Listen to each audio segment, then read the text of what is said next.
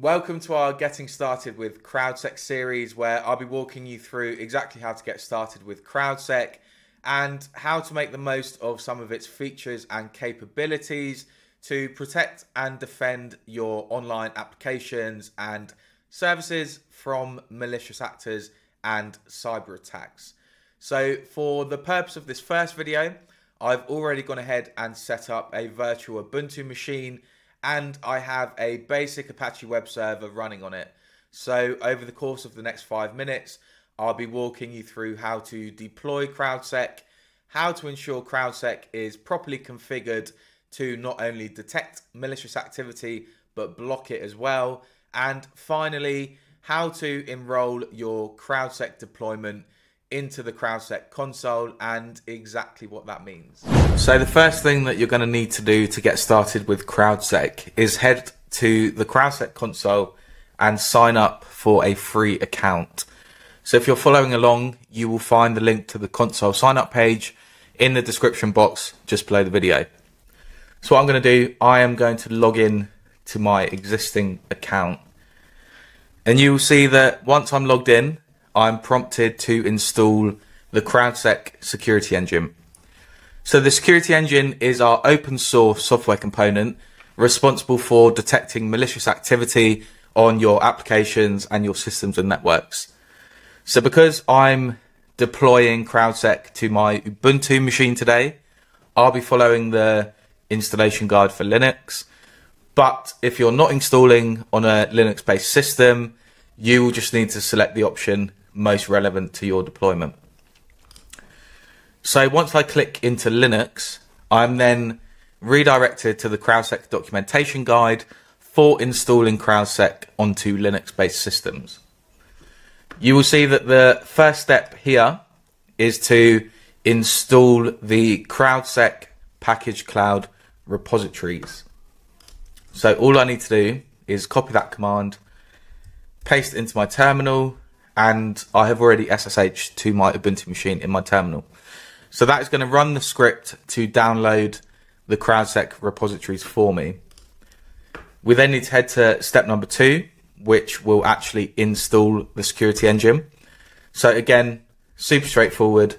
Copy the install command here and paste it into your terminal. So what CrowdSec is doing here, CrowdSec is running through the installation script and it will be taking a look at what services I have running on my Ubuntu machine.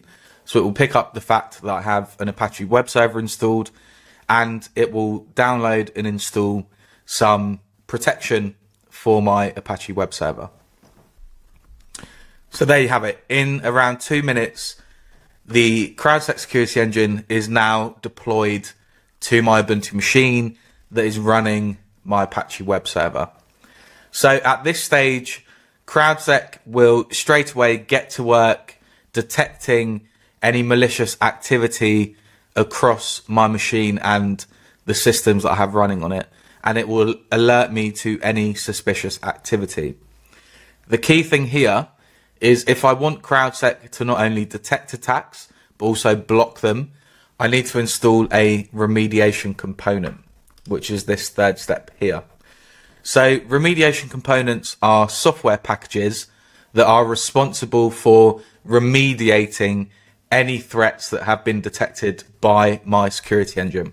So these remediation components will use automated responses to either ban the corresponding IP address from my network or it will present the user with a captcha.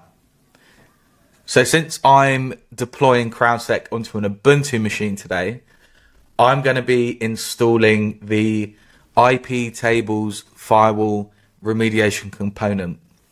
So again, very straightforward. I just need to copy this command and paste it into my terminal. And as I say, this is going to install the iptables remediation component for me. So once that has completed its installation, I now have a CrowdSec security engine deployed as well as a remediation component installed. So that means CrowdSec is now properly configured to one, detect any suspicious behavior on my system, and two, block the malicious actor from actually gaining access to my system. So the final step in configuring my CrowdSec deployment is to head back to the CrowdSec console and enroll my security engine into the console. So what this does, it means I will then gain a centralized and real-time view into all of the threats that have been detected across all of my online services that are protected by CrowdSec. So to enroll my security engine, all I need to do is copy this command here, which contains my enrollment key, and again, just paste that into the terminal. So you'll notice here that I am prompted to refresh my console UI, and this is going to present me an option to accept that enrollment. So once I click accept, you will see that I now have my security engine enrolled into the console. So after enrolling your security engine, you will need to restart CrowdSec, and that is just to make sure it is properly connected to the console so that you can see all of your real-time alerts. So to do that, systemctl, restart, CrowdSec. So now if I head back to the console and I click into scenarios, this will show me all of the protection I currently have.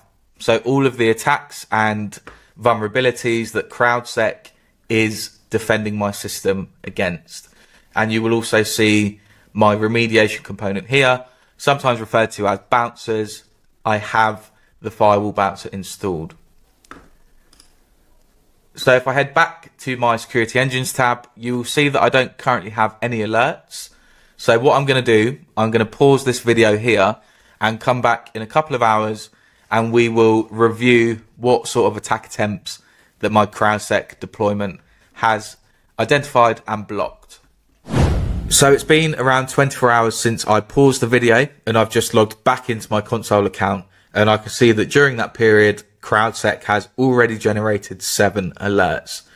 So just to put that into a bit of context for you, as you know, during this video, I have deployed CrowdSec to my virtual Ubuntu machine that has been running an Apache web server.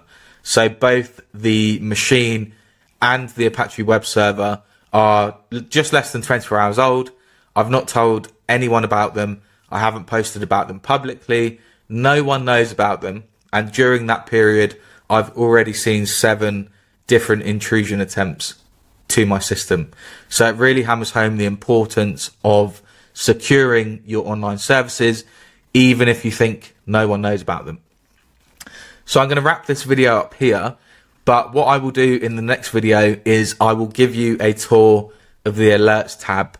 So I will walk you through all of these visualization charts as well as the context around different attacks that you will see populate in your console interface.